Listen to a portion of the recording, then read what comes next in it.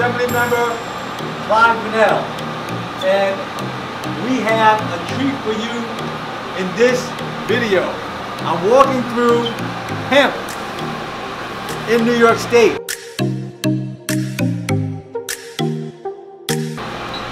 Now, you all know that we've actually passed and opened up adult use cannabis a couple of months ago. So we're working on a lot of different things. There are a lot of things that we have to deal with. We have to deal with the criminal justice issue. We have to deal with social equity.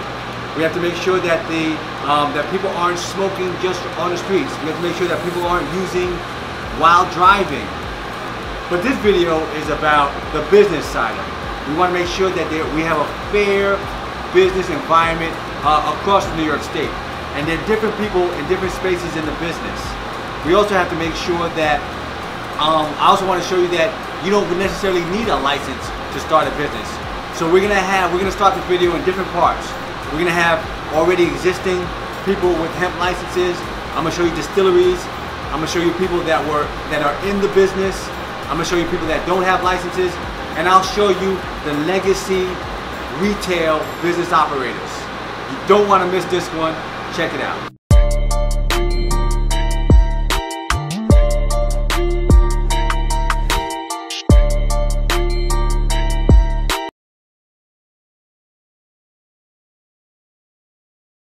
It's a 100,000 square foot worth of greenhouses. We do um, processing, extraction, all on site. We do cultivation as well.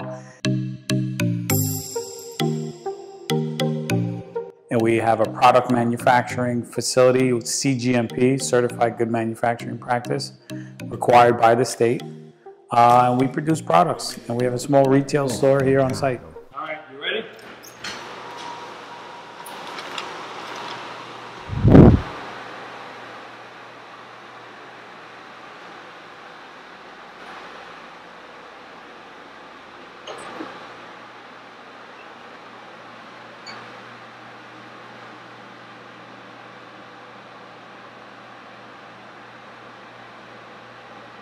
So Mike, what am I looking at? Well, you're looking at uh, specific CBD strains that are genetically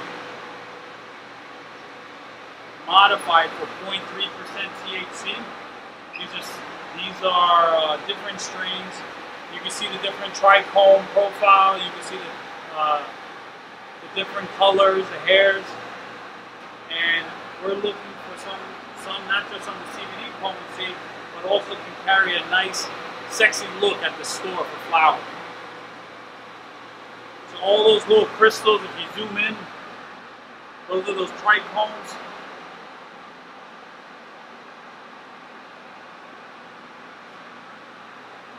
bags that we use, we do 100 to 200 pounds at a time for, extraction. So you can see these uh, nugs and stuff, bu- buds, we mill them down and we put it through an ethanol bath at supercritical temperatures and we extract the material. Here you can start seeing some of the other material we have before it's milled. It's larger, larger, larger material, bigger buds.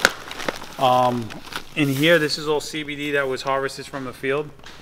So this is not the premium bud that you want to sell to the to the stores. This is stuff that's designed for extract. And most people who are going to be growing outdoors in New York State will probably have majority of it's going to be an extract material. Outdoor is like the grade D material, and it's not going to be that premium stuff. Plus, it's prone to molds and mildews because it's from outdoor. We've had over 40 people working here at one time. Uh, we had a lot of outdoor operations, cultivation operations. Uh, we have indoor um, cultivation as well in the greenhouses. We've um, product manufacturing is beginning to take off, and we we need help with that as well. But uh, some of the skilled trades, we need cultivators, we need um, extractors, we need formulators. Do me a favor, smell some of this So, CBD flower. but what is what is this? This is This is uh, CBD flower that was harvested right here at our farm. And so this is so is this cannabis? Is this hemp? Is this so this is CBD. It's cannabis, but it has low THC level um, genetically. So this Wow. is at 0.3 percent or less THC. wow, wow, wow? How's it smell? Smells. I guess what does it smell? What does it smell? Potent. Yeah, it smell. It smells kind of potent. It, sm- it doesn't smell like a strong. It doesn't smell like what I know marijuana to smell like. You know, but it smells. It has a potent smell. Mm. Yeah, it has a smoke, but it doesn't smell obnoxious. Different terpene profile in this one. Um, similar to what's in cannabis. So Really? uh, yeah, yeah. Kind of smells citrusy, kind of. Mm-hmm. Now you're smelling the limonene. The what? The limonene. Remember I told you about the Yeah. terpene? Yep. Wow, wow, wow. And it's legal to carry. Now, is your scale game tight? Can you tell how? No, I can't. I can't. CBD is a little more fluffy, fluffier, lighter weight. Okay. That's just because of the genetics. And you'll see more with the THC stuff, there's a little more weight to it. Probably because there's more oil, more THC oil in it and so forth. Okay. Wow. Wow. Well, thank you for coming. Oh. I hope you enjoyed yourself. Appreciate it, man.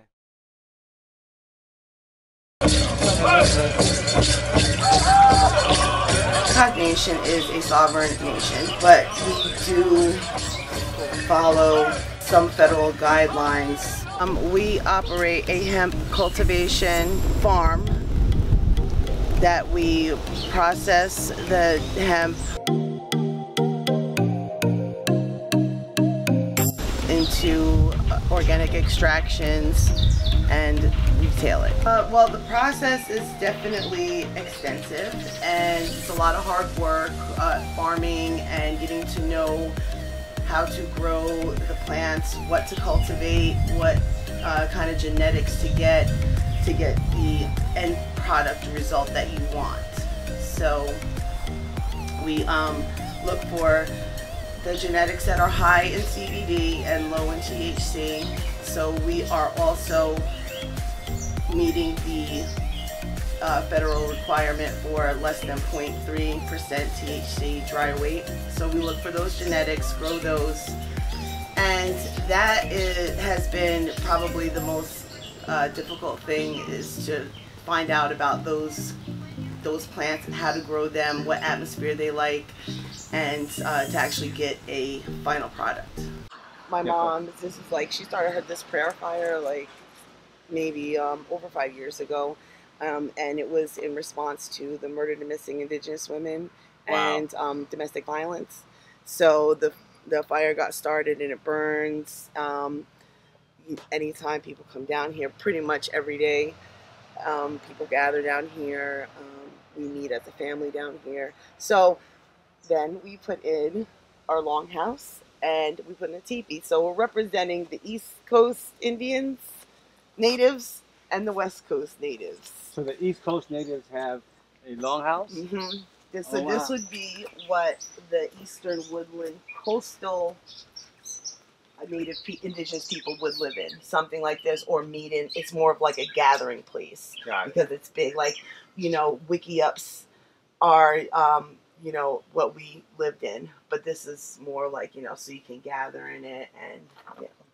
So this So, so this is East Coast. so this is East Coast, yes, and this is built by family and friends and people in the community that came together. Wow. Yeah. So and it just went up like not too long oh, ago. Oh, so yeah, So take us to the West Coast. and then yes, they do it like all like try to do like you know all the traditional oh wow. ways and stuff. All right, we're going to the TV, mom. Going to the TV then. I have to go down. I have to bend down. Oh my Uh, gosh. yep, if you want to. All We right. gotta fix that one of these days. it's a little bit. Uh, yeah, you gotta get down in there. All right. you you can take one of the sticks out too. See? Oh, All right. Okay. oh God. Wow, close your eyes. Close your eyes. I don't want. I don't want you to see. Oh boy. All right. Okay, I'm in. All right. Doing it the old native way. Maybe I, you know, probably would have something maybe to lean on as you come in. I think it's because when you go into a teepee, usually, Oh, okay. you know, you're like on the ground, Mhm, like a sweat lodge. Yeah. Wow. Wow. So you're like on the ground, you come inside. This, um, we've had this for, I don't know, quite some time in the family. So we decided to put it up. Oh, cool. Cool. Yeah, yeah, yep. So I guess this is all. I guess these are all. You gotta find the straight logs, I guess, and Yep, it's tied up uh, together up top. yep. Then you put it together uh, in a certain kind of pattern, and then yep, it goes out. So it, You know, it's hot outside, but it's cool in here. it's not so bad in here. Yeah. Yeah, uh, that's supposed to be like you know. Then they put the fire in the middle usually, wow. and then the fire goes. goes out. Oh, yeah, I mean this was like what they lived in Okay. on wow. the you know west side, on the west side. All right, I'm out. Okay. Yeah. yes. Yeah. I'm out of here. Actually, I think this is one of the best businesses for women to be in right now.